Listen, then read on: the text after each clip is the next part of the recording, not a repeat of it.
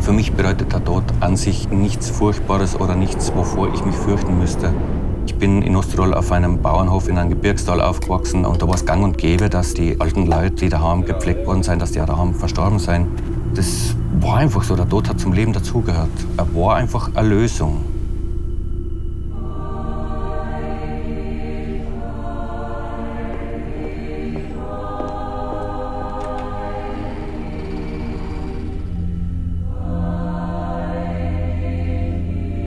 Ich ein bisschen helfen? When I think about death, fear and family come to mind. Ungewiss. Trauer, dass man aus dem Stress, was irgendwie jeder immer hat, da so endgültig draußen ist irgendwie.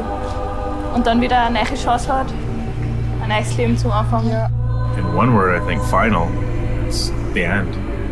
End is a good term for death.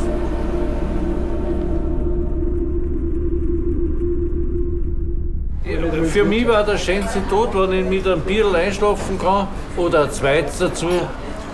Und die, Le die Leute sagen, ein netter Kerl war er, aber jetzt sind wir froh, wenn er daheim ist.